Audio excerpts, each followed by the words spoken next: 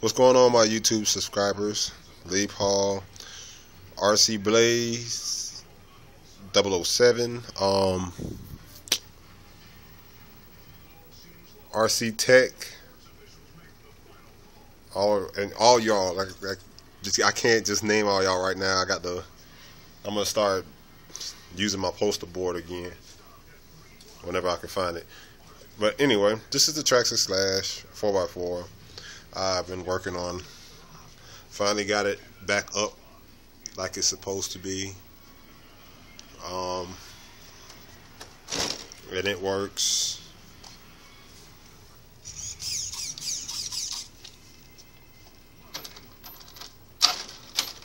Right now I'm in the house, so I'm not too, too much trying to drive it all crazy right now. So, oh crap. That was a wreck. There we go. That's here to show you though. What I am here to show you. Oh, by the way, FlySky 2.4 gigahertz radio.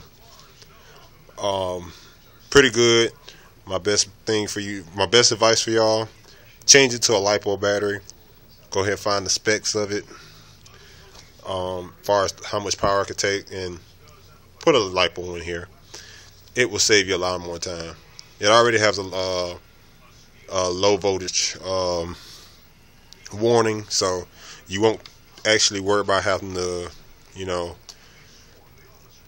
over drain your lipo battery. But lipo is better. So okay, moving along. This is what I want to show you.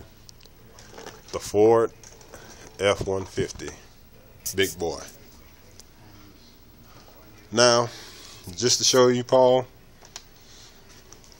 this thing has, excuse me, has a serious, serious amount of lean to it. Now, as you can see, it's on top of it.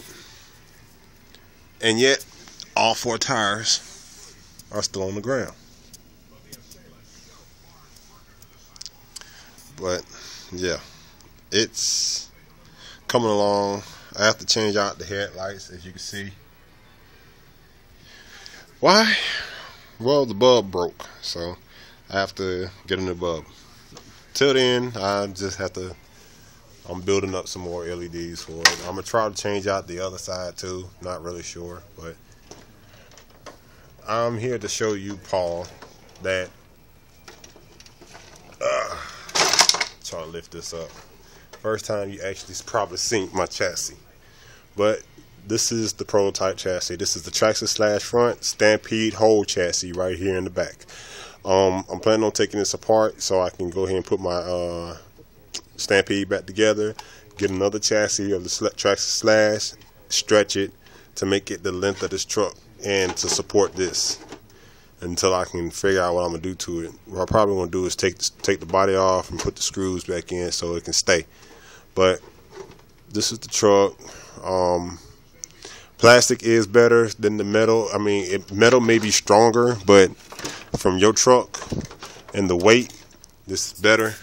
As you can see, I got the interior in there. Dirty windows are dirty from sitting up so long. But yeah, that's the truck. Sitting up nice.